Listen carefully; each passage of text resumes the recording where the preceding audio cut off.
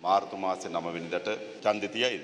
රනිල් වික්‍රමසිංහ මොන ගැට ගැහුවත් මේ මැතිවරණේ මාර්තු මාසේ නම වෙනිදට පැවැත්වෙනවා. මේ රට මේ විදිහේ තියෙන විදිය හොඳද? මොනවද වෙනස් කරන්න ඕන? ආණ්ඩුව මාරු වෙන්න ඕන. ඉතින් කලිනුත් ආණ්ඩු මාරු කරන්නේ. මොකද්ද මාරු කරන්න ඕන? සිස්ටම් එක මාරු කරන්න ඕන. අන්නේ සිස්ටම් එක මාරු කිරීම සඳහා පළමු පියවර මේ මාර්තු මාසේ 9 වෙනිදා අපි තියමු. ඕගොල්ලන්ට මතකද 2015 මෛත්‍රීපාල සිරිසේන කතාවක් කරලා කිව්වා එයා බලයටපත් වූ හැටියේ එයාපෝට් වහනවා කිව්වා. මහින්දට පැනලා යන්න දෙන්නේ නැහැ කිව්වා.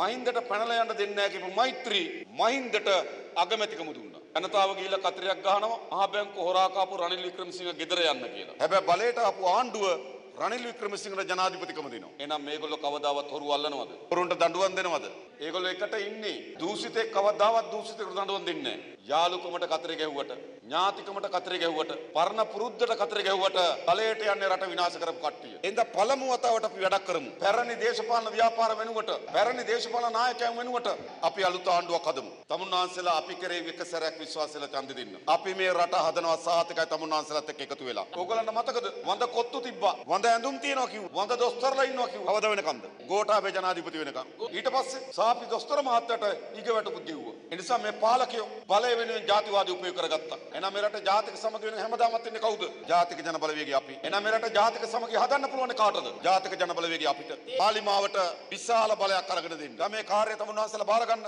මේ රට ගොඩනගන්න අපි ඔක්කොම එකතු වෙමු. රටේ ලෝකෙ සිදුවන උණුසුම් පුවත් දැනගන්න සියත නිවස් YouTube චැනල් එක අදම සබස්ක්‍රයිබ් කරන්න.